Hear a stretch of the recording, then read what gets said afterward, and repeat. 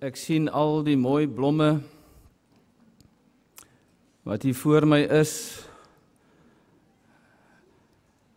En dan het ek waardering vir die mense wat soveel moeite gedoen het om dit so mooi te maak hier. Die mooi gebou en alles wat hier is en die fasiliteite, is dit die regte woord, fasiliteite? Om so by mekaar te kom om die Here te soek. En dan is dit my gebed dat die Here my sal help met die taal wat ek praat om dit so oor te dra dat julle dit sal verstaan. Dit wat op my hart brand wat ek graag met julle wil deel.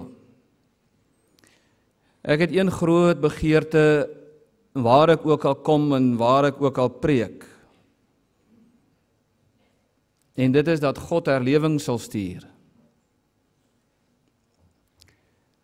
Dat hy sy Heilige Gees sal stuur.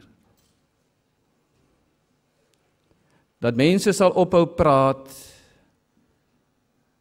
en dat God sal begin praat. Ek het vele goeie vriende in Suid-Afrika. Ek het vriende van mense wat Pinkster is. En ek het vriende van mense wat erg gereformeerd. So. En dan luister ek na die mense wat die Pinkster mense van my vriende. Dan praat hulle met my oor die Heilige Gees. En dan frons ek, maak so. Want ek verstaan nie waar kry hulle dit wat hulle doen. Dan sê hulle vir my die Heilige Gees het vir my gesê Dan vra ek maar waar staan dit in die Bybel? Ek verneder hulle nie, ek sê hulle nie sleg nie. Ek sit net met die probleem. Dan sê ek ek kry dit nie in die Bybel nie. Sê maar die Here het vir my gesê en ek profeteer nou, ek het familie wat vas is in hierdie me, saam met die mense. Dan het ek aan die ander kant my gereformeerde vriende En dit is die mense wat vir my mooi leer en dogmaties en teologies alles presies kan sê hoe werk dit in die Bybel en die dogma en die leerstellings en al die reëls wat daar is van die werk van die Heilige Gees, die persoon van die Heilige Gees, die godheid van die Heilige Gees. dan kyk ek na hulle lewe dan sien ek hulle het nie die lewe van die Heilige Gees nie. Hulle dit alles hier. Tussen hierdie twee vriende, hierdie groepe kom die waarheid van wanneer die Heilige Gees kom sal hy ons in die volle waarheid lei. Dis my begeerte vir vanaand. Dis my die Engels hartkraai vir Nederland, vir Suid-Afrika, vir die wêreld. Vader, Seun, Heilige Gees. Kom openbaar U self Kom besoek u werk o Heer. En wil u arm ontbloot dat u volk die magwoord hoor wat opwek uit die dood. Amen. Ek kan die Bybel saam oopmaak. By nou gaan ek my bril so opsit en dan moet julle nie die DVD vir my vrou gee nie. Want ek kan nie meer hier sien nie, maar ek kan ook nie meer daar sien nie. Nou moet ek 'n bril om hier te kan sien en dan daar te kan sien. So as hy baie op is, moet julle my verskoon. Want anders sal ek nie kan lees hier in die Bybel nie. Maar ons gaan saam lees uit Efesiërs hoofstuk 4 en ook uit Galasiërs hoofstuk 5.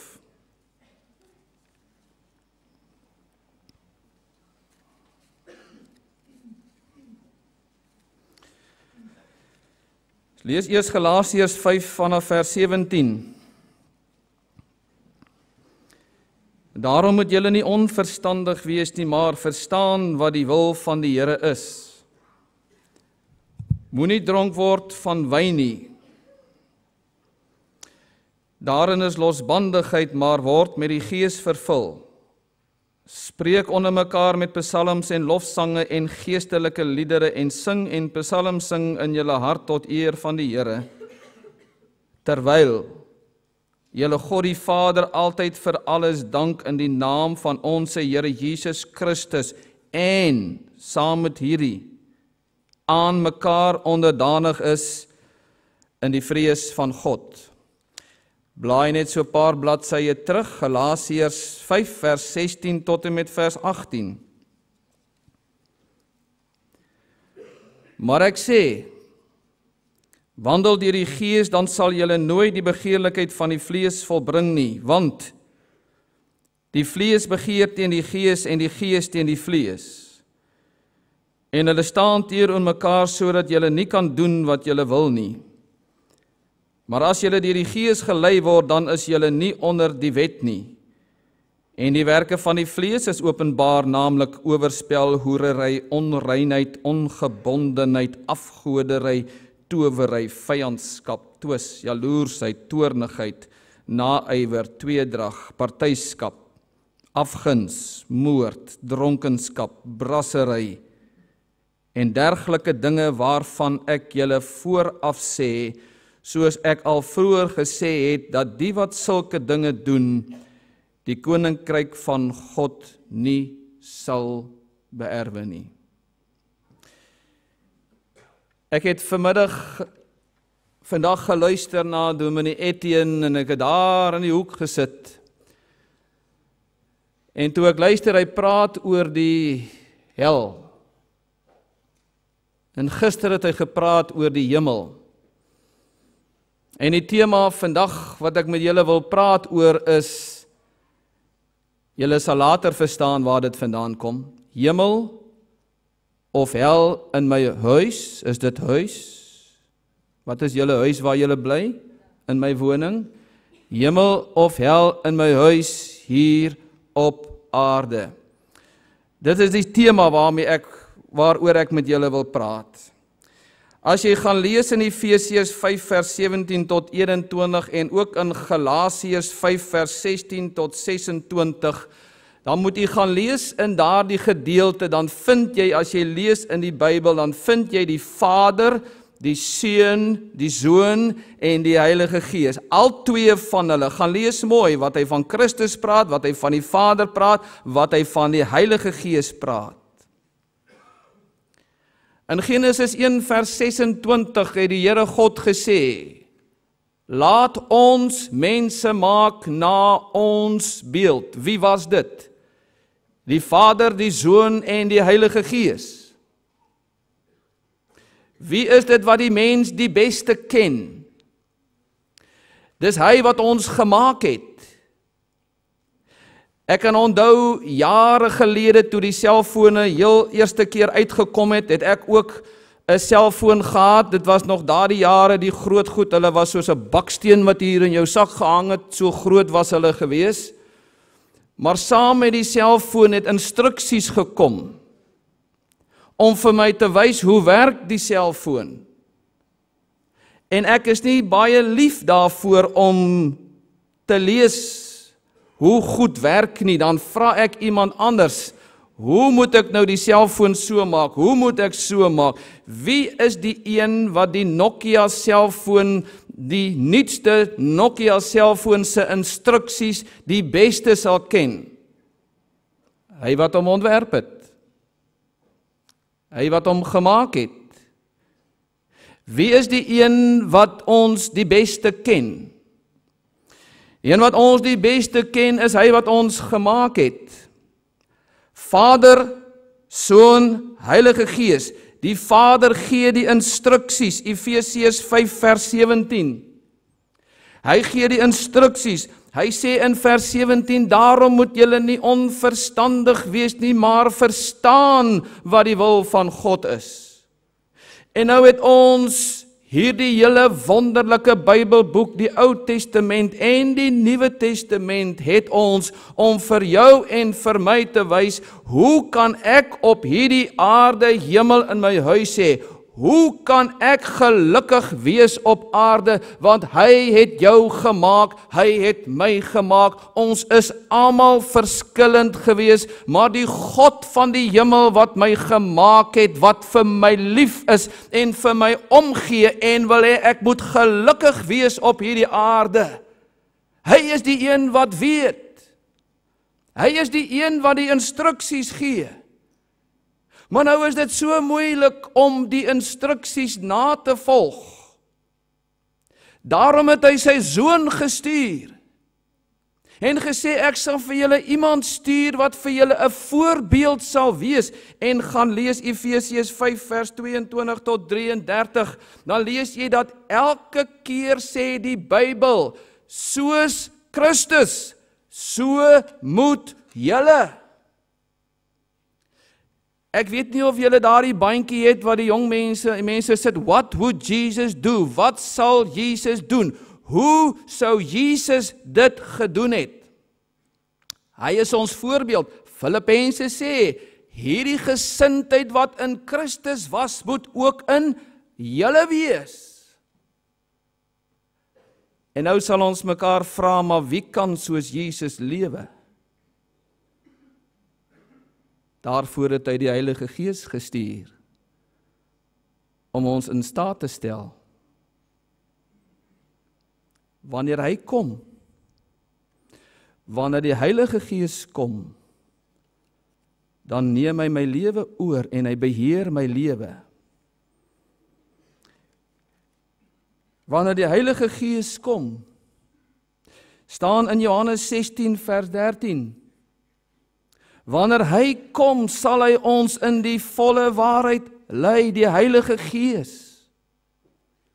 Wanneer hy kom, sal hy mense se lewens kom verander as ek die waarheid vind en ek lees die waarheid in die Bybel dan kom die Bybel en dan verander hy maar want Johannes 16 vers 8 sê waar wanneer hy kom sal hy die wêreld kom oortuig van sonde, van geregtigheid en van oordeel. En wanneer hy mense oortuig van sonde, van geregtigheid en van oordeel, dan verander hulle lewens, dan vind die daad van wedergeboorte in hulle binneste plaas. Hy verander hulle, hulle is nie meer dieselfde nie, hulle kan nie dieselfde wees nie. Wanneer die Heilige Gees kom, dis 'n boodskap op sy eie. Ek het een hele reeks oor al hierdie boodskappe gebring nou Pinkster in my gemeente.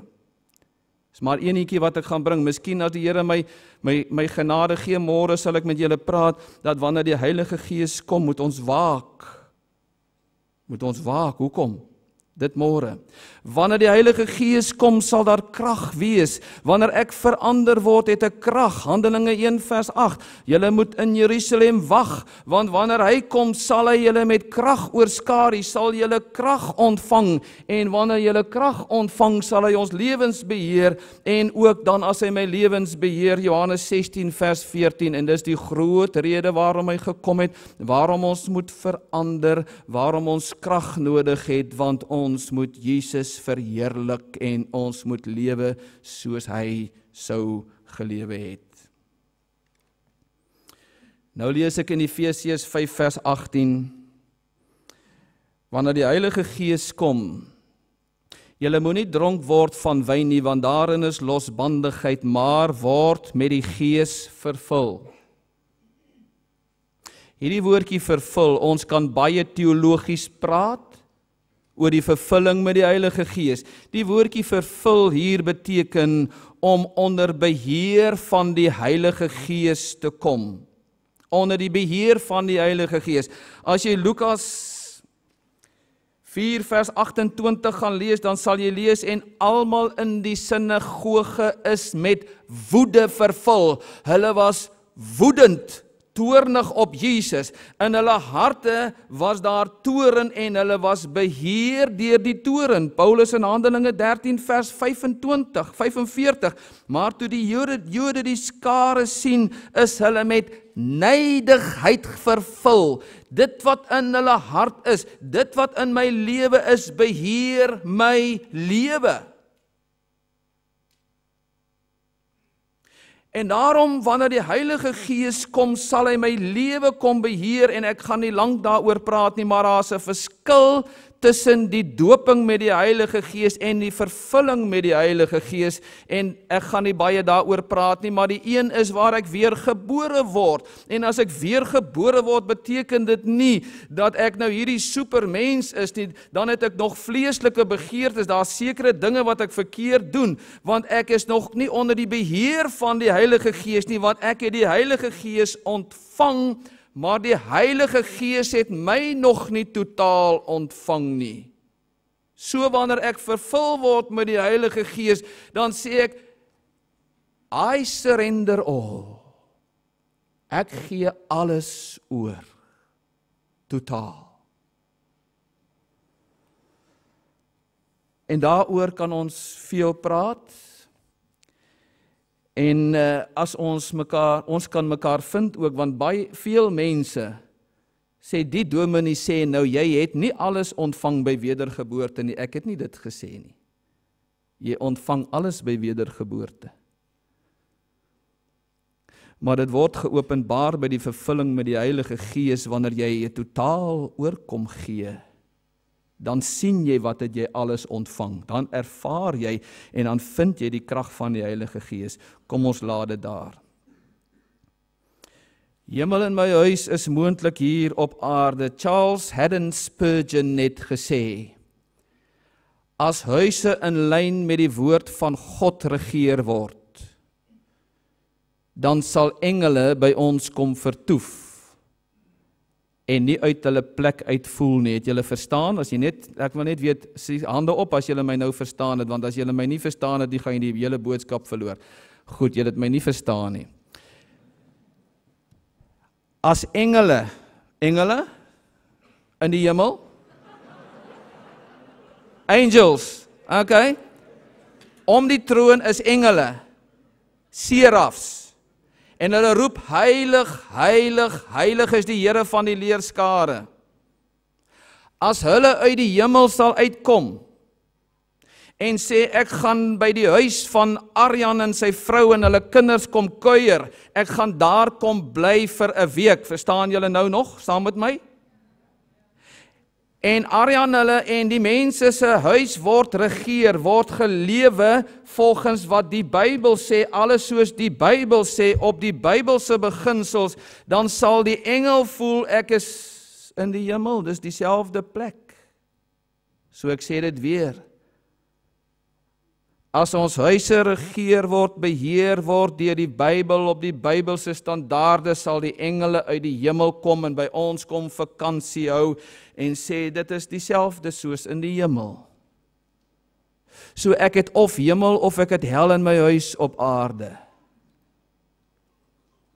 Ek wil hê ons moet eers na die negatiewe kyk. My hart bloei in Suid-Afrika Dis die een grootste probleem. Gesinne, huise. Man, vrou, seun, dogtertjie, meisies, kleintjies, almal van hulle wat lewe soos katte wat beklei die heeltyd mekaar wil opeet. Hartseer in die huise. En dis soos asof ek in die voorpoorte van die helle het 'n vrou gesê om saam met my man in hierdie huis te woon. En nou sê die Bybel, wat veroorsaak die hel in my huis hier op aarde?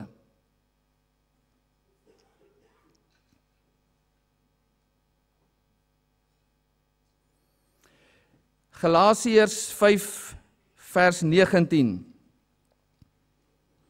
En die werke van die vlees is openbaar, naamlik oorspel, hoerery, onreinheid, ongebondenheid, afgoderry, towery. En dan noem hy al daardie sonde en die werke van die vlees van dit wat dit maak dat daar op hierdie aarde hel in mense se huis is wat dit vir hulle sê dis vir my so moeilik in hierdie huis want die mense word beheer deur die vlees. Ek wil hê julle moet nou mooi luister. Ek gaan hulle net in kort gaan ek hulle vir jou noem en vir jou skets. Wat doen die werke van die vlees? Dit is soos wat dit baie mense se huise lyk. like waar die kindjie moet sien hoe ma en pa beklei in die vlees. Elkeen wil sy eie sin hê. Elkeen wil sy eie ding doen. Wat is hierdie werke van die vlees? In die eerste plek, oorspel. Weet u wat se bitterheid daar in huise is deur 'n man wat oorspel pleeg en die vrou vind dit uit. Hoerery die vernedering van 'n vrou of van 'n man wat moet hoor my lewensmaat wat God vir my gegee het het hoereer saam met 'n ander vrou saam met 'n ander man en dit bring hel in 'n huis. Dit breek die harte stikkend. Onreinheid Die lelike goed waarna die mense kyk, ek weet van 'n man wat vasgevang was in pornografie en hy kon nie loskom van dit nie. En die aand laat het hy na die goed gaan kyk en alles wat by my oë ingaan, gaan sit in my hart in vas en ek kan nie daarvan loskom nie. En die ou klein seentjie, onskuldig onskuldig skoon rein het die nag opgestaan. Terwyl pa agter die rekenaar sit op die internet en hier gestaan en na die goed gekyk hy weet nie hoe lank nie en toe hy weer so sien toe staan sy klein seentjie langs hom met sulke groot oë. En dit het in sy skoon rein hartjie ingegaan en sy hele lewe verwoes en die hele gesin verwoes as gevolg van onreinheid. O, oh, jong mense. Ek weet van 'n jong seun wat 9-10 jaar oud was toe sy maats vir hom gewys het by die skool op die selfoon want jy kan op die selfoon deesdae enige iets aftrek. Van naakte mans en naakte vrouens. Hy het hel op aarde. Saam met sy ouers in die huis. Die voortdurende worsteling ontugtigheid om gemeenskap te hê om seks te hê verkering. Wat praat julle van verkering? Saam bly. Verkering. Voor ek trou. Is nie in God se woord nie. Praat dit dit is ontugtigheid dit is om jou jou eie lewe te verwoes Luister mooi jong mense, luister mooi na die dominee wat van Suid-Afrika gekom het en dieselfde goed wat daar gebeur, gebeur hier by julle. Hulle bly saam en sê ons sal kyk of dit uitwerk. God het gesê julle sal een vlees wees. Nou is julle almal groot mense en as nou die klein kindertjies hier so is, verduidelik vir hulle asseblief, vertel vir hulle wat die dominee gesê het want julle moes vir hulle lankal van die bytjies en die koetjies vertel het wat soos mekaar maak met mekaar. God sê Julle sal een vlees wees en wat God bymekaar gevoeg het mag geen mens skei nie. Nou kom ek en nou word ek een vlees voor ek getroud is. En nou is ek moeg vir hierdie een en nou moet ek van hom af daai die woord van een vlees beteken vasgegom. Verstaan julle wat vasgegom is? Ek vat twee papiere en ek plak hulle aan mekaar vas. Ek gom hulle aan mekaar. Nou sê ek maak hulle los. Dan bly daar van die een papier op die ander papier oor. Dan gaan ek na iemand anders, dan word ek weer vasgeplak. En eendag wanneer ek in die huwelik intree, dan kan ek nie verstaan waarom is my lewe hel nie. Waarom wil ek altyd 'n ander vrou hê? Omdat jy verwoes is. Omdat daar in jou daardie vleeslikheid is wat jy begin het toe jy klein was. Ek gaan die ander net vinnig noem en ek gaan nie daaroor praat nie, maar dis alles goed wat hel in my huis bring, afgodery. Vir nou moet julle vir my die woord sê, verneingewing, is dit reg? Die oorspronklike taal praat van drugs van verdowingsmiddel, dis wat die woord hier beteken. En weet u hoeveel huise is verwoes in dit hel as gevolg van dit? Vyandskappen. Wat is vyandskappen? Die dis gewoonlik met die manne. Ons gaan nou-nou met hulle met hulle praat, maar ons praat in Suid-Afrika van stilstuipe. Ken julle stilstuipe?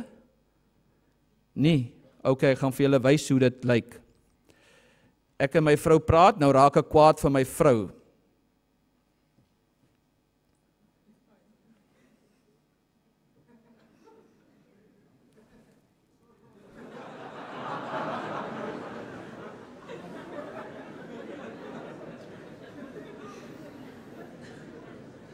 Stilstype. Sê dit, stilstype. Twisten. Afgunstighede. Ons praat in Suid-Afrika van die groen monster, jaloesie, jaloers, afgunstighede. Weet jy waar kom dit vandaan? Dit kom vandaan van omdat ek toe ek jonk was en omdat ek voor die huwelik verkeerde dinge gedoen het en nou is ek afgunstig op my en ek wonder hoekom gaan my vrou en my vrou kyk vir 'n man en my vrou kyk nog vir 'n man sy kyk nie eens vir die man nie en ek is afgunstig maar jouself het die probleem. En dit bring hel in my huis. Toren. Beteken om te ontplof gekuif tweedrag kettereiner, nait, moord, dronkenskap en hoor wat sê hy al hierdie dinge al hierdie dinge en nog wat die werke van die vlees is en wat mense se lewens verwoes. Ek het die hel beskrywe. Die seer wat mense veroorsaak in hulle huise. En hoe lyk 'n huis wat deur hierdie dinge beheer word nie deur die Heilige Gees nie. Nou kom ek by die positiewe. En ek wil dit graag vergelyk met wanneer iemand vervul is en beheer word deur die Heilige Gees. Wanneer die Heilige Gees kom. Galasiërs 5 vers 16. Maar ek sê wandel deur die Gees dan sal julle nooit die begeerlikheid van die vlees volbring nie. Efesiërs 5 vers 18 moenie dronk word van wyn nie, daarin is losbandigheid, maar word met die Gees vervul. Om met die Gees vervul te wees beteken om onder die beheer van die Heilige Gees te kom. En wanneer ek onder die beheer van die Heilige Gees kom, dan is daar hemel in my huis hier op aarde. Kom ek probeer weer vir julle verduidelik. Wat is die verskil tussen 'n termometer en 'n termostaat? Weet julle wat is 'n termometer? Goed. Die vrouens sê ja, ek weet die mans lyk of hulle nie weet nie. Ek dink hulle weet wat is 'n termometer want dis babetjies wat siek is, dan vat ek die termometer en ek sit hom in sy mond en as ek hom in die mond sit, dan wys dit vir my of hy koors het, baie koors of bietjie min koors, né? Of hy siek is. Hoe hoog is dit of hoe laag is dit? Dit wys hoe warm of hoe koud dit is. 'n Termostaat sal die manne weet wat dit is. Né? Nee? Weet wat is 'n termostaat? Hy sê ja, 'n termostaat is binne in 'n auto. En as ek met die auto ry, is die termostaat daar wanneer ek begin ry om die auto warm te maak of koud te maak. As hy te warm raak, dan gaan hy aan, dan sit hy die waier aan en dan bring hy hy hou die hitte dieselfde. Dis 'n termostaat. 'n Termometer wys of dit warm en of dit koud is. Die Heilige Gees is met respek die termostaat wat my beheer wanneer ek my in totaliteit oorgee aan hom en wanneer ek dit doen dan is daar hemel in my huis op aarde. Wanneer ek beheer word nie deur die vlees nie maar deur die Heilige Gees. En daar is 3 dinge wat bewys of ek vervul is met die Heilige Gees. Want ons moet altyd die skrif in sy konteks verstaan en sien wat sê dit voor die tyd, wat sê dit na die tyd. En as ek nou Galasiërs 5 vers 18 gaan lees, dan lees ek moenie dronk word van wyn nie, daarin is losbandigheid, maar word met die Gees vervul. En onmiddellik daarna noem hy 3 dinge wat die bewys daarvan is dat ek vervul is met die Heilige Gees. En nou wil ek hê u moet u self toets. En dit is die rede waarom daar nie hemel in mense se huis is nie. Die 3 dinge wat hier is. Vers 19 blydskap, vers 20 dankbaarheid, vers 21 onderdanigheid. Hulle is soos drie stemme wat harmoniseer. Harmoniseer? Die mense wat hier gespeel het, wat hier gespeel het en wat gesing het, hulle moet harmoniseer. As hulle nie harmoniseer nie, dan klink dit lelik. Ek hou nie daarvan nie. Ek wil nie daarna luister nie, want die een is nie op die toonhoogte saam met die ander musiek nie. Dan sê ons gaan uit.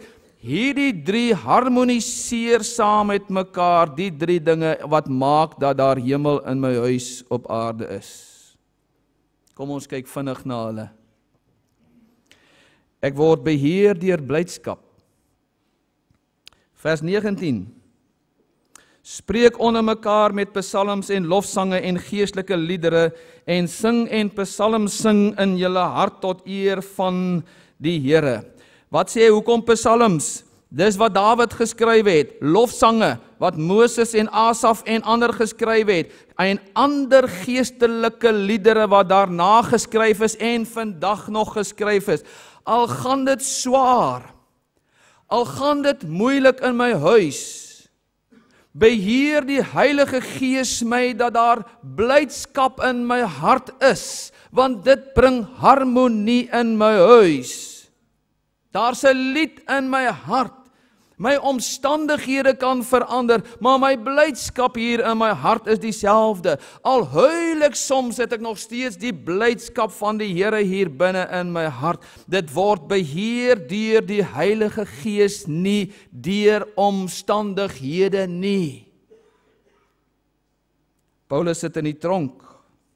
Handelinge 16 vers 25. En omtrent middernag het Paulus en Silas gebid en lofliedere tot eer van God gesing en die gevangenes het na hulle geluister. Hulle sit in die tronk. En hulle sing. Hulle sing 'n wonderlike lied.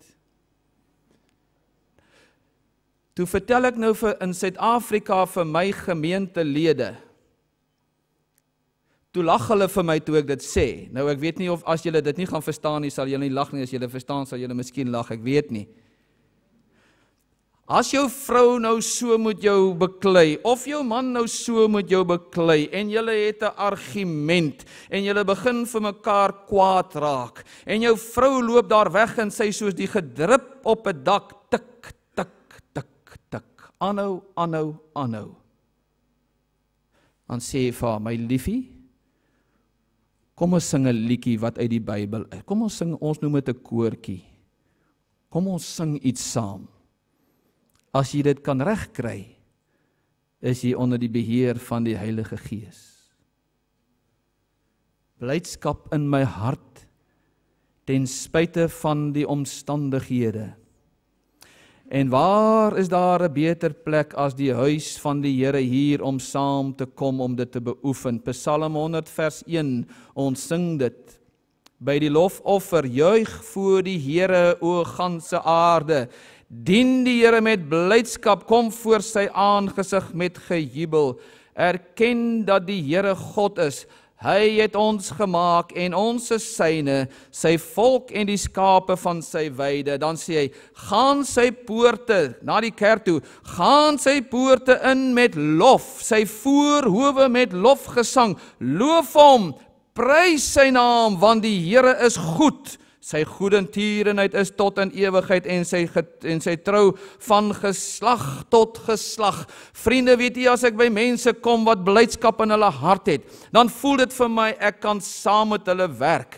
Dit voel vir my of ek in die teenwoordigheid van die Here is. Mense met blydskap. Dit is aangenaam. Dit is heerlik in my huis saam met my vrou vol blydskap, vol saam met my seun vol blydskap. Hy is so nou en dan het hy sulke nikke. En dan loop hy met so 'n lang gesig rond en dan sing ek aan my vrou maar dan kom hy maar weer by, dan kry hy ook weer sy blydskap terug want daar's blydskap in die huis. Die klank uit so 'n persoon se mond, Johannes 15 vers 11, dit het ek vir julle gesê dat my blydskap in julle kan bly en julle blydskap volkome kan word.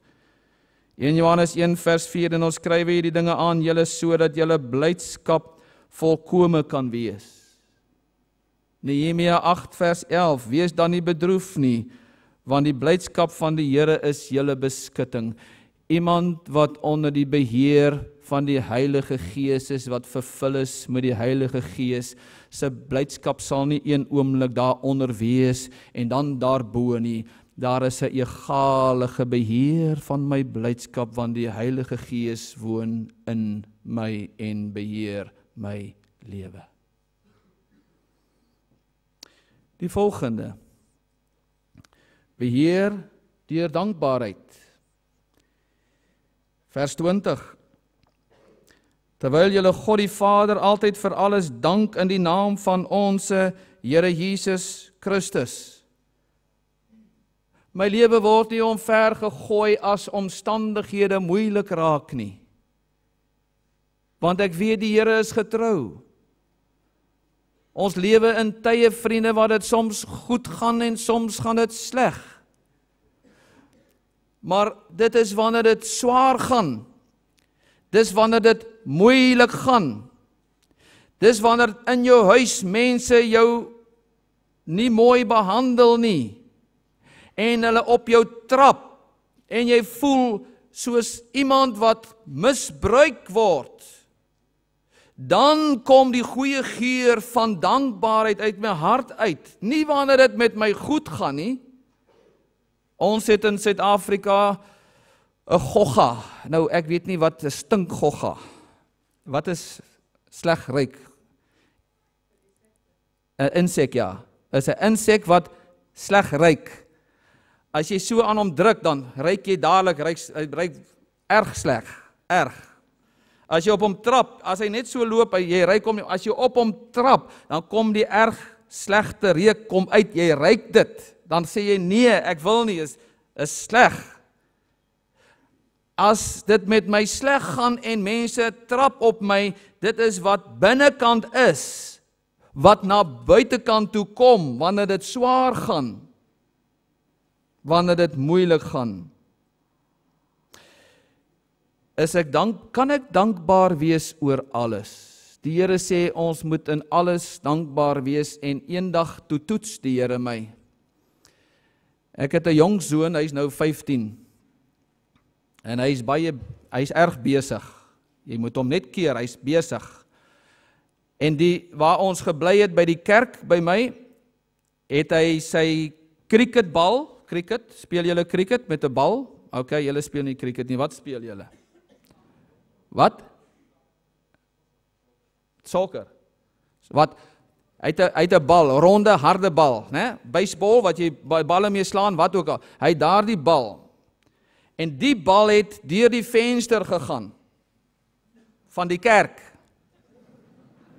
Goed, ons is nou by mekaar. En toe sê ek vir hom, "Brink, as jy dit weer gaan doen, is daar moeilikheid." Ons het die venster reggemaak. 2 dae later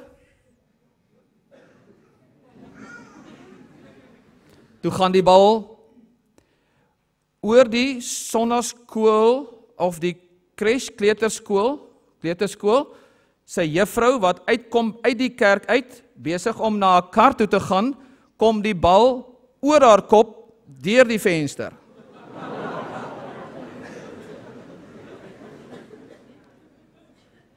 Sy kom vertel dit toe vir my. En ek was erg boos. En weet jy wat sê die Here vir my? Hy sê wees dankbaar. Jou seun is gesond. En hy lê nie siek in 'n bed. Maar jy het 'n gesonde seun. Ek het hom getug. En weet jy wat is die beste tug vir my seun, my zoon? Vat sy selfoon weg. Dis die beste tug wat jy kan doen vir 'n zoon. Wanneer die Heilige Gees kom en wanneer my lewe beheer word deur die Heilige Gees, is ek dankbaar. Die woordjie dink en dank kom van dieselfde woord in die Grieks. Daarom dat dat dat uh, Paulus skryf, hy sê in Filippense 1 vers 3, ek dank my God elke maal as ek aan julle dink. Ek het 'n dankbaarheid in my hart vir my vrou.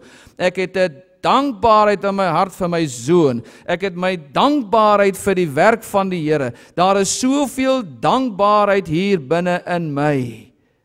Dit word nie deur omstandighede verander nie.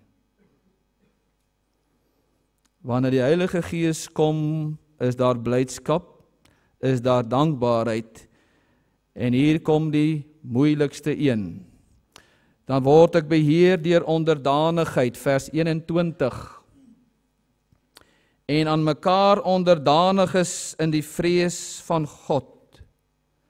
Manne, luister nou mooi. Ek het 'n verrassing vir julle. Die Bybel sê en aan mekaar onderdanig is. Hy sê wees bly en dan sê hy terwyl julle saam met dit, jy kan dit nie losmaak nie. En dan kom hy in vers 21 en hy sê en elk ander aan mekaar onderdanig is in die vrees van God onderdanigheid aan mekaar.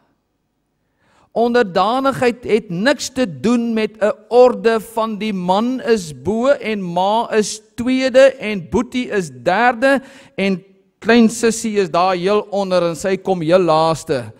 As daar tyd is vir haar en so leef ons ander op mekaar se kop se hoof. Ek ons sê in Suid-Afrika julle moet my vergewe as ek sê kop. Is nie is hoof. Ons sit op mekaar se hoofde.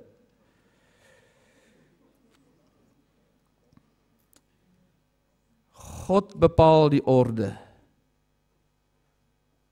Julle moet verstaan wanneer die Heilige Gees kom en ek is vervul met die Heilige Gees kry ek dit reg om onderdanig te wees. Dan sal ek verstaan wat dit beteken. Hoor nou mooi toets jouself. As ek onder die beheer van die Heilige Gees is, as die Heilige Gees my lewe oorgeneem het, dan beklei ek, ek stoei om onder my vrou in te kom, onder haar in te kom en om haar te help om te wees wat die Bybel sê sy moet wees. Dis onderdanigheid. Onderdanig is die Griekse woord hypotasso. Hippo by ons Engels is hippopotamus beteken onder iets wat ondergaan.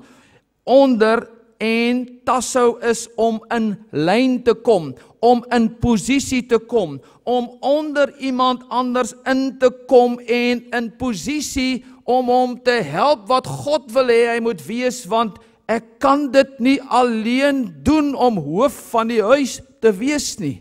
Ek kan dit nie alleen die vrou in die huis wees nie. Ek kan nie alleen as kind groot word sonder 'n pa en ma wat onder my inkom nie. Ons het mekaar nodig en ek kan dit nie doen as ek vleeslik is met al hierdie ander dinge nie. Ek kan dit alleen doen deur die krag van die Heilige Gees wanneer hy kom en wanneer hy my lewe in beheer neem.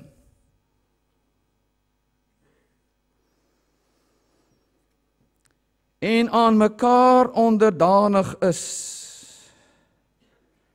Filippense 2 vers 4 tot 8.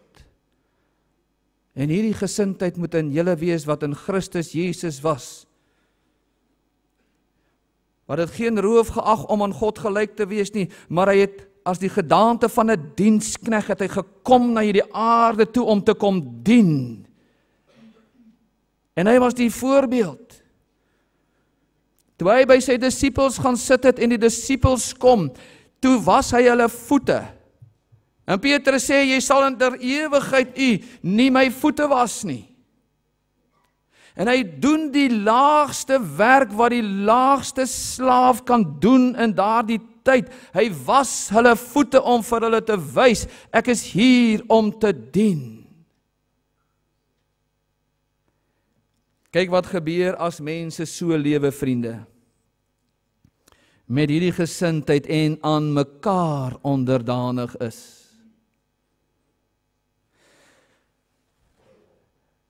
Ek het nou terwyl ons hier was, het ek nou so geglimlag. Jammer Trudy vir Trudy en vir Etienne met hierdie pragtige rekenaar wat hulle hier het. En nou kyk hulle en sê maar jy Skype En jy praat met jou mense. En hulle sê maar ons het ook 'n laptop hier. En daai laptop kan al die goeders doen wat my laptop kan doen. Hulle het dit nog net nie ontdek nie. Hulle het nie gevind hierdie rekenaar met al die goeie wat hierdie rekenaar kan doen. Hy is nie groter as my rekenaar nie en ek kan lekker en ek tik en ek werk en ek Skype. En hulle sit met 'n rekenaar wat alles dieselfde kan doen. Hy het die volle potensiaal. Hy het alles in wat my rekenaar in het. Nou, luister mooi. Elke man, elke vrou, elke kind, elke ouer het die volle potensiaal in Christus Jesus. Ek en jy moet mekaar net help om dit te laat werklikheid word. Want ek kan dit nie self doen nie. Ek kan nie die pa wees wat ek is by die huis as my vrou my nie help nie. Onder my inkom en my help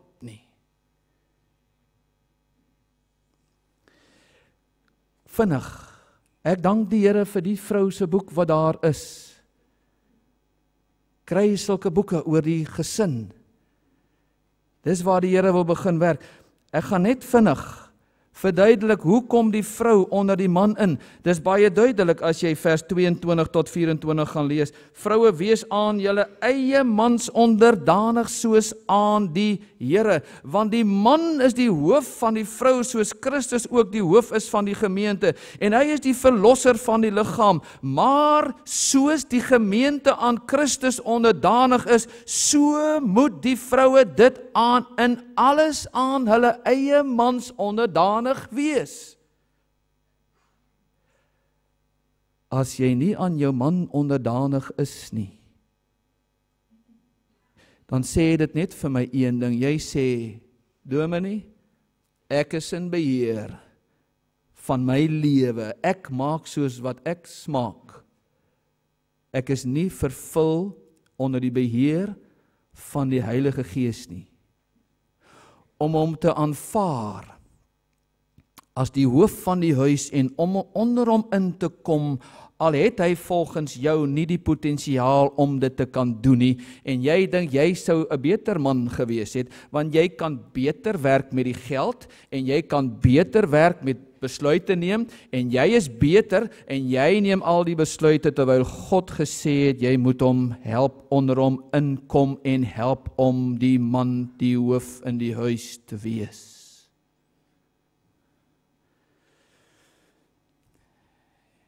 Kom ek verduidelik dit so. Hier is die verkeersmense, polisie, verkeersmense, mense wat sê stop, stop, stop, stop. Goed, nou het hulle klere aan. Daar by ons het hulle sulke wit handskoene aan. Ek weet nie hier by julle nie, dan wys hulle stop. Nou ry ek met my auto en hier spring 'n man hier voor my in. Hy is so klein ou maar mannetjie. En ek kyk en ek sê, nou wat wil hierdie ou klein maar mannetjie nou staan hy en hy spring voor my in en hy wys stop. Ek sê ek luister nie vir jou nie my maat, jy's klein en kyk ek hou ook nie van jou nie. Jy lyk nie so mooi nie en ek is nie lus vir jou nie en ek ry om hom en ek jaag weg en hulle vat my nommer en ek kom en ek kom in die hof in die kort en ek kom daarso en ek sê man daai mannetjie so klein mannetjie met 'n wit handskwentjie gewees en ek luister nie na hom nie dan sê die regter sy gesag kom van die owerheid af sy gesag kom van die regering af wat sê hy staan daar en hy mag dit doen. Want die regering, die regering is ek reg as ek sê, die regering sê dis jou werk. God sê jou man is die hoof. Maak nie saak wie hy is nie. In elk geval as jy neerkyk op hom, dan moet jy jou eie hart ondersoek wanneer die Heilige Gees kom sal hy my lewe beheer en hy sal my help om onder my man in te kom om my man te kan help om te wees wat hy moet wees want in jou man is die volle potensiaal van 'n hoof van die huis soos wat God dit in sy instruksies gegee het en miskien lê die probleem by jou dat jy nie onder hom inkom nie op die rekenaar. Nou werk ek met hierdie rekenaar. Hy het al die potensiaal. Dis so wonderlik. En ewe skielik staan alles so stil. Ons sê in Afrikaans hy hang. Weet julle wat? Hy wil nie werk nie. Druk klomp knoppies, hy staan net so, hy beweeg nie. Nou het hy 'n virus. Hy het iets ingekry wat verkeerd is wat maak dat hy nie kan werk nie. Vele mans het vele virusse wat maak dat hulle hang. Dat hulle nie kan werk nie en nie wil werk nie. En ek moet weet hoe om dit uit hulle te kry om weer te kan werk. Nou kom ek by die mans. In vers 25 tot 33 let mooi op. Hoeveel versies hoeveel tekste gee die Here vir die vrou? Kom ons tel gou-gou. 1 2 3 Kort vir die vrouens, daar sê lekker, julle weet hoe om dit te doen. Man is die hoof van die huis. Nou kom hy en hy praat met die manne. Die manne. Nou. En hy praat van vers 25 tot vers 33 kom gee hy instruksies en hy sê vir die manne hoe moet jy met jou vrou werk om haar te kan help om die ma te kan wees om die vrou te kan wees wat God so kosbaar gemaak het vir jou om deur die krag van die gees van die Here deur sy instaatstelling vir haar te kan help om te kan wees wat sy moet wees Ek sê dit vir die mense altyd as ek hieroor praat en hulle die vrouens wil my nie glo nie, die mans glo my, geloof my, geloof my soms. ek sou eerder 'n vrou wou gewees het. Dan sê die vrouens ja, tot jy my man kry.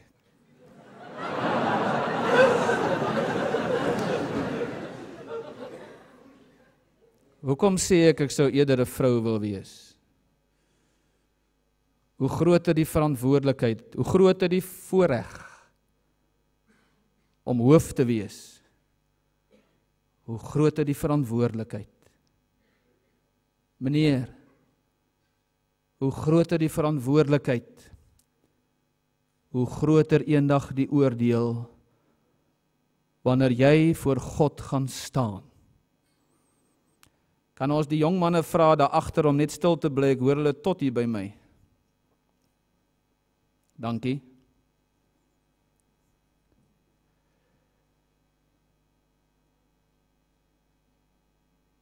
Om 'n man te wees en eendag voor God alleen te moet staan. En God sê vir jou: Ek het jou 'n vrou gegee ek het vir jou kinders gegee. Ek het jou die hoof van die huis gemaak om onder die beheer van die Heilige Gees die man in die huis te wees. Ek voel soms ek kan die manne vat en ek kan hulle wurg as ek sien wat hulle aan hulle vrouens doen. En dan weet ek is omdat hulle vleeslik is. Al hierdie ander goed die werke van die vlees, oorspel, hoerery, al daardie dinge, dronkenskap.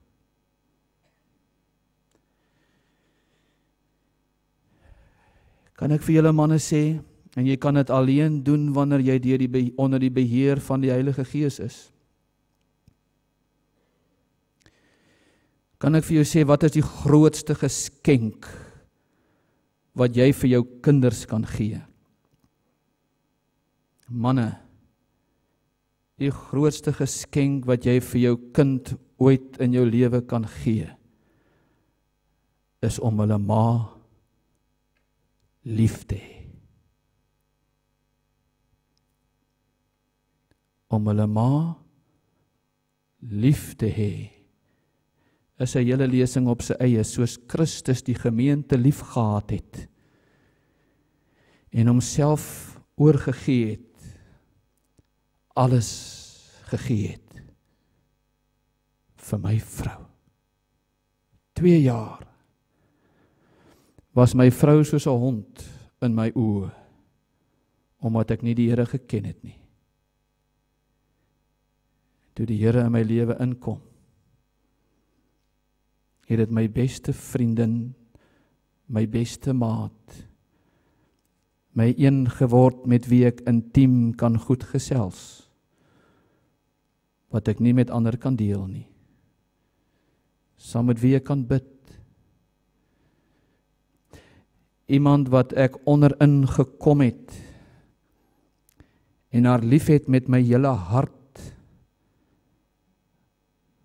en vir haar alles sal doen in my vermoë om haar te maak, te kry, om haar te reinig, te heilig soos Christus sê hy die gemeente gereinig het sodat dit vlekkeloos onberispelik sal wees. Ek forceer niks op my vrou af nie. My vrou sal niks doen. Sy sal niks doen, sy sal niks koop as hy my nie gevra het nie. Ek gee haar toestemming, sê jy kan koop want ek weet ek vertrou jou. Sy sal dit nie doen nie. En ek voel dit nie werd nie. Om iemand te kan hê onder die beheer van die Heilige Gees om onder my in te kom en my te kan help om die man te kan wees vir haar. Luister meneer, Jy kan nie uit 'n bank uittrek as jy nie gedeponeer het nie. As jy nie geld in die bank ingesit het nie, sal jy nie uitkry nie. Hoe meer jy insit, hoe meer jy onder haar kom en haar liefhet met jou hele hart en haar kom vertrou. Liefde, respek en vertroue vir mekaar, die drie pilare waarop 'n huwelik gebou word. Ek hou hulle dop voor hulle trou die jong mense Nou weet ek nie wat is julle naam nie, dan lyk hulle soos 'n Siamese tweeling. Weet julle wat dit is? Twee babetjies wat so saam vasgebore is. Hulle hou mekaar so vas en hulle druk mekaar so voor die tyd nog. Voor die Here sê jy's 'n maat vir daai ene, voor die tyd dan hulle soos 'n Siamese tweeling, is hulle in mekaar en as hulle getroud is die dag dan se soos dan s hulle soos 'n Siamese twee katte. is nogal so groot verskil. Ek kom by die kinders. Efesiërs 6 vers 1 tot 3. Hemel en my huis op aarde is wanneer die kinders onder die beheer van die Heilige Gees is. Kinders, julle moet julle ouers gehoorsaam wees in die Here want dit is reg. Eer jou vader en jou moeder, dit is die eerste gebod met 'n belofte sodat dit met jou goed mag gaan en jy lank mag lewe. Beteken nie oud word nie, maar dat jy 'n kwaliteit lewe sal hê op hierdie aarde. Verskoon tog. Deur gehoorsaamheid Deur my ouers te gehoorsaam kom ek onder my ouers in. Ek is hulle onderdanig. Ek kom onder hulle in en ek sê help my, voed my op, leer vir my wat is reg en wat is verkeerd. Ek is eerbied teenoor hulle en ek respekteer hulle. Ek kom onder hulle in en ek sê julle is my ouers, julle behoort aan my en ek wil in hierdie huis bly saam met julle. En doen dit jong mense, hoor wat ek vir jou sê. as jy rebels is en jy wil nie onder jou ouers inkom nie. Ek sê vir my seun som, my zoon sê ek soms, ek kan nie verstaan dat jy so dom is nie. Ek verstaan dit nie. As jy mooi is en gehoorsaam is en al die regte dinge doen, dan kry jy alles. Dit gaan goed, dit gaan wonderlik. Ek kan nie verstaan dat jy soms ongehoorsaam is nie. Hoor nou jong mense, as jy gehoorsaam is aan jou ouers en jy eer hulle waarborg hoor wat die dominee vir jou sê oom Johan. Onthou altyd oom Johan was hier Botha Botha. Hy was hier en hy het gesê as jy jou ouers gehoorsaam is en hulle eer sal jy 'n goeie werk kry 'n goeie vrou kry, goeie kinders kry, goed oud word, goed sterwe. Ek kan jou vat na huise toe wat kinders ongehoorsaam is en nie eer aan hulle ouers bewys nie. En vir jou gaan wys hoe lyk hulle huwelik en hoe lyk hulle lewens. Ook die kinders, ook die jong mense kan beheer word deur die Heilige Gees. Nou die heel laaste. Die ouers. Ouers moet onderdanig wees in watter mate? Hoor wat sê vers 4. En vaders moenie julle kinders vertoren nie, maar voed hulle op in die tug en vermaaning van die Here. Nou weet ek u moet julle moet jy moenie sê ek het gesê julle moet die kinders slaan nie. Hoor? Want ek hoor in Nederland mag mens nie meer tug nie. Jy mag nie meer so maak nie, né? Ek weet nie wat maak julle nou nie. Ek weet nie hoe help julle die kinders reg nie. Want my seun in Suid-Afrika begin hulle ook om te sê jy mag nie die kind tug nie. Mag nie. Sielkunde, allerlei storieetjies wat hulle vertel. En nou as ek my seun, my seun as hy so ongehoorsaam raak en ek vat hom en ek sê kamer toe, dan weet hy. En as ek hom getug het, het hy so verander. Dis waar. Ek sê vir julle, ek sê nie julle moet dit doen nie want dan gaan ek in die moeilikheid kom. En as ek hom tug, sy ma maak so saggies, saggies, saggies en dan lag hy vir haar en dan niks gebeur nie en ek slaan goed, hard. Dan wil hy weet hoeveel houe. Dan sê ek 4. Dan slaan ek die eerste hou, dan draai hy die ander bout, dan sê ek nee, selfde bout.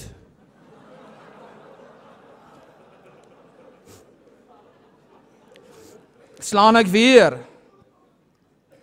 En iets erg snaaks gebeur wanneer ek hom hard slaan op sy boude agter. Boude, wat's dit? Hoe? Wat dit ook al is. As ek hom goed geslaan het, vyf houe, dan gebeur iets erg snaaks. Dit raak so warm hier agter dat die was in sy ore smelt. Dat hy nou hoor.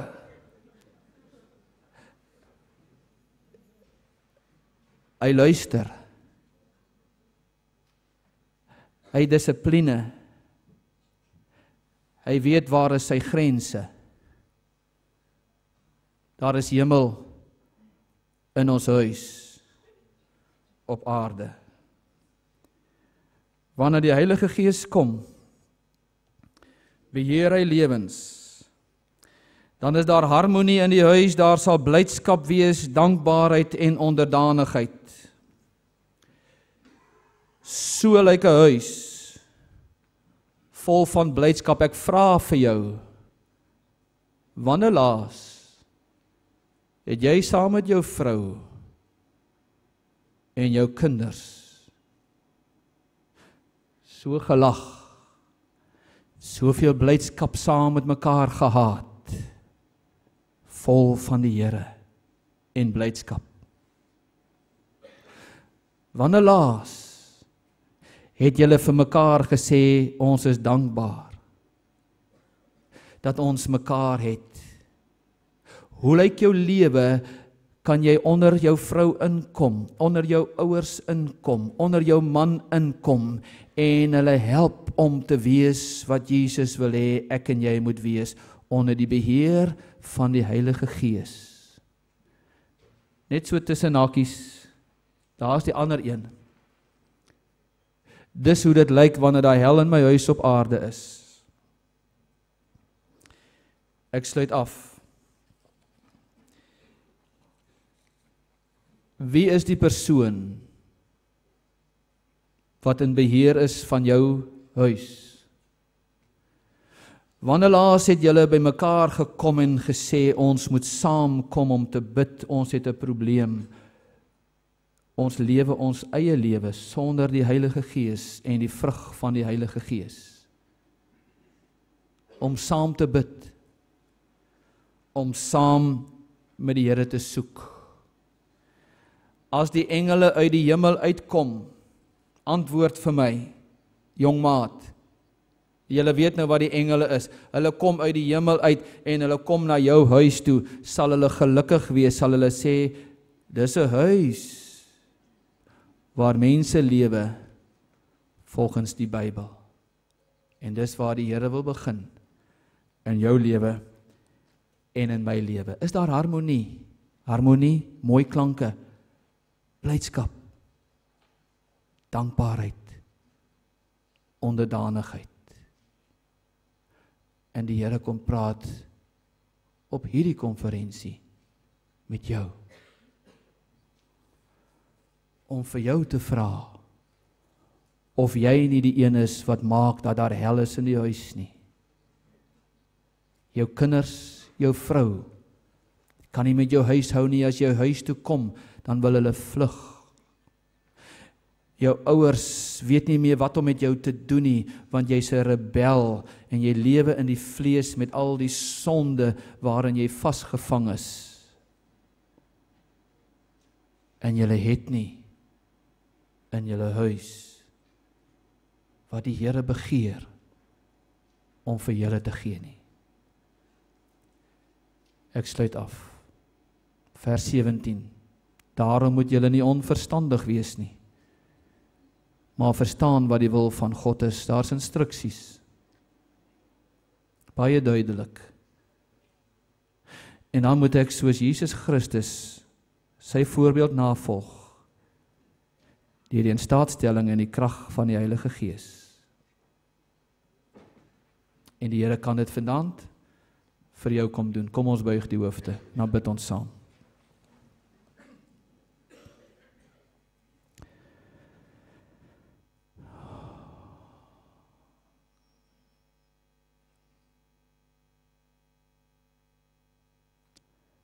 Stuur Here U self deur die sagwerking van die Heilige Gees. Woorde van oorreding. Werk U self die berou in 'n hart. Maak U self dors. 'n Man, 'n vrou, 'n jong maat wat vanaand sal sê ek het dit nie. Dis die eerste positiewe stap na hemel in my huis om te erken ons het dit nie.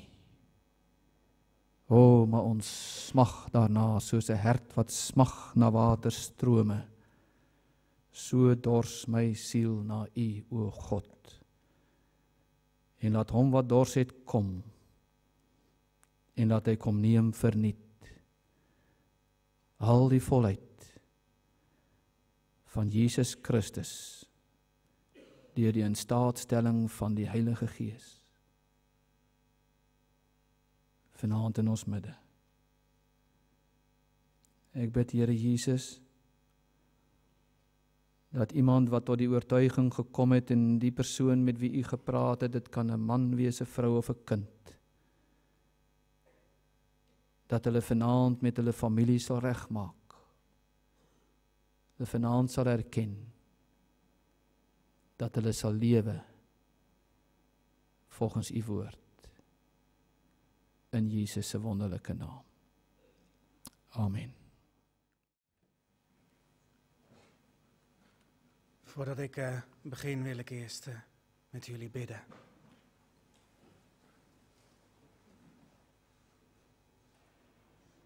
O, lieve Heer in de hemel. Wat een wonder dat ik hier mag staan. Heer, niet om van mezelf te getuigen, niet om over mezelf te praten, niet om mezelf in het zonnetje te zetten, maar om te mogen getuigen van uw opzoekende zondaarsliefde, uw oneindige zondaarsgenade Heer, dat ik maar weg mag vallen en u in het middelpunt mag staan. Dat u daar de eer van mag krijgen. Heer, wees genadig. O Vader, dat uw liefde ons blijk. O Zoon, maak ons uw beeld gelijk. O Geest, zend uw troost ons neer. Drie God, u zij al de eer. Amen. Vooraf wil ik uh, eerst even wat zeggen. Het is een heftig verhaal. En misschien zitten de kinderen in de zaal die nog best wel onnozel daarin zijn. Dan wil ik de ouders vragen om daar met de kinderen over door te praten. De Heer vraagt van ons dat we onnozel zijn in het kwade. En dat betekent niet dat we dus uh, niets moeten weten van wat er in de wereld speelt. Maar het betekent wel dat we de zonde niet moeten opzoeken. En dat we waakzaam zijn. En daarom wil ik ook vragen, ouders, als uw kinderen er vragen over hebben, ook de jonge lui. Ouders, praat ermee over. Want het kan ook in uw gezin gebeuren. Het kan ook uw kinderen betreffen. Ik wil vooraf nog twee versen lezen uit 1 Korinthe 6. 1 Korinthe 6, vers 10 en 11.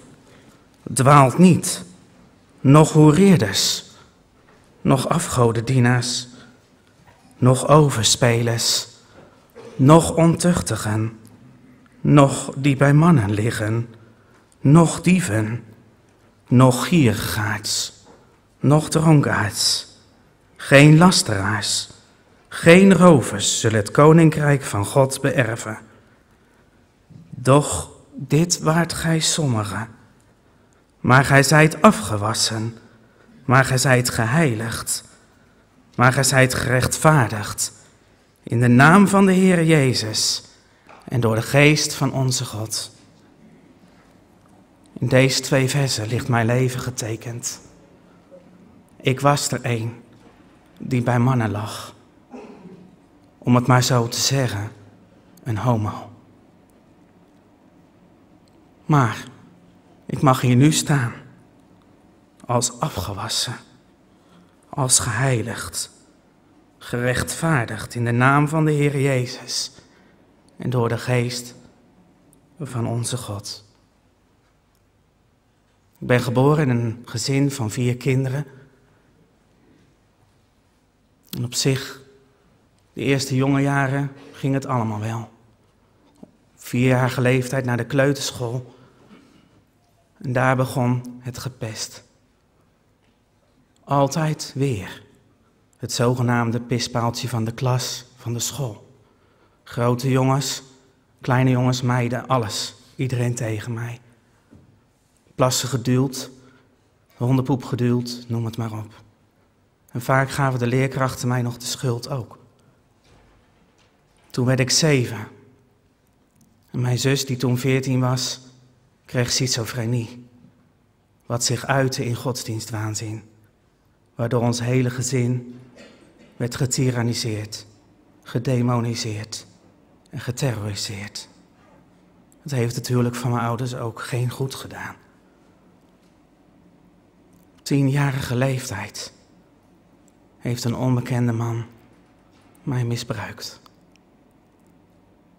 Op veertienjarige leeftijd hebben twee meisjes vreselijke leugens over me verteld. Brieven met mijn naam geschreven. En zo was het ook in de kerkraad en op school. Was John van Buren een schande. En een leugenaar en een bedrieger. En ik werd bijna van school gestuurd. En over mij werd gesproken als een verderfelijk jong. Toen werd ik 17. Nog een, weer een andere onbekende man. Werd ik verkracht. Van achter is Tine bij mij naar binnen gegaan. En toen kon ik niet meer. Ik ben in elkaar geklapt. En blijkbaar schijnt het zo te zijn, zeggen de psychiaters, dat mannen geen slachtoffer kunnen zijn. En graag de controle over zichzelf willen houden. Op dat moment gebeurde dat bij mij ook. En ik ging de homoseksuele contacten opzoeken. Uiteindelijk helemaal kapot in de psychiatrie beland. Eerst drie maanden in het toenmalige GPZ in Bos en Duin. Later twee jaar en twee maanden achtereen in Veldwijk in Ermelo. Maar het grote probleem verzweeg ik. Ik vertelde wel over onze gezinssituatie. Ik vertelde wel over het pesten. Maar dat ik topte met homoseksuele gevoelens. Nee, nooit, nooit van mijn leven. Dat ik verkracht was, ook dat niet. Ik heb het uitgeroepen tot God, vele malen. O God, niet dit kruis, niet dit kruis. Maar het was wel het kruis. En toen ik daarachter kwam, toen ik met mijn vuisten gebald gestaan, had je me maar zo niet moeten maken.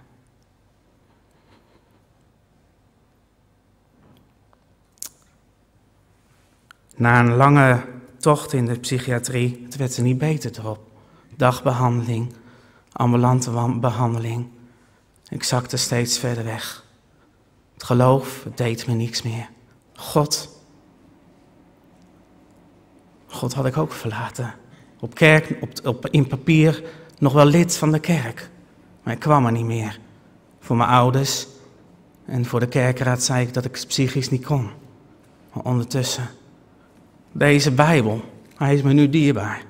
Maar ik heb hem in een hoek gesmeten. Als het aan mij gelegen had, had ik hem nooit meer opgeraapt en erin gelezen. De laatste anderhalf jaar van dat leven. Ik spreek van januari 2003 tot met augustus 2004. Ben ik helemaal losgegaan in de homowereld, Amsterdam. En ik denk dat jullie dan al wel wat weten. Mannen kwamen bij mij thuis. Ik had zulke stapels homopornografiebladen in mijn huis. En elke keer als er weer een homoseksueel contact was, was de depressiviteit nog erger. En deed ik een zelfmoordpoging. En die lukte niet. Meestal kwam ik na drie dagen weer bijna een overdosis pillen. Dan was ik nog depressiever. En dook ik dus maar weer de seks in. En zo draaide de vicieuze cirkel steeds verder naar beneden. En toen in augustus 2004, op het allerdonkerste moment van mijn leven, op het alleronverwachts, heeft God ingegrepen. Hij plaatste Arjan op mijn weg. En Arjan kreeg mij op zijn hart. En die nam mij mee naar Zwitserland. Ik was nog nooit in het buitenland geweest. En daar, de eerste woorden van die eerste preek die ik in Zwitserland hoorde, die zal ik nooit vergeten. Wat is de wereld diep gevallen? De homoseksualiteit via het hoogtij. En dat was de pijl die God voor me nodig had, die me trof in mijn ziel. En ik werd zondaar voor God. Het was verloren, voor eeuwig kwijt. Na een vreselijke dag, met ontzettend veel worstelingen, vele gesprekken, hoopgevende woorden, maar ik had er niks aan. Ik ging verloren. S'nachts, na een, ja, hoe moet ik zeggen, na een enorme strijd, heb ik de Heer met tranen mogen zoeken, maar ook met gejuich mogen vinden. Daarna is er een weg geweest dat ik eerst vijf maanden bij de ouders van Arjan heb mogen wonen. Om zo de verzoekingen en de verleidingen te kunnen weerstaan en sterker te worden. Psychisch was ik nog steeds een wrak. En ook dat heeft de Heer steeds beter gemaakt. Eerst wat vrijwilligerswerk bij de toenmalige SRA. Later ook op een school vrijwilligerswerk gedaan. Uiteindelijk via een jobcoach ook nog een baan. Ik mag zondagschoolmeester zijn. Ik mag jongensclubleider zijn. Ik zit op een mannenkoor. Ik heb een voorbeeld. Vorig jaar november was ik jarig. Het was een kroonjaar. En ik heb meer dan 150 vrienden uit mogen nodigen. Ik had vroeger niemand. Zelfs mijn ouders had ik niet meer. Daar leefde ik in vreselijke ruzie. En nu ruim 150 vrienden kunnen uitnodigen. Vrienden, echte broeders en zusters. De Heer heeft me tien dubbel wedergegeven. Dat wat ik vroeger heb gemist. En gaat het dan nu over rozen? Nee. Drie jaar geleden heb ik omgang met een meisje gekregen. Waar ik zielsveel van ben gaan houden.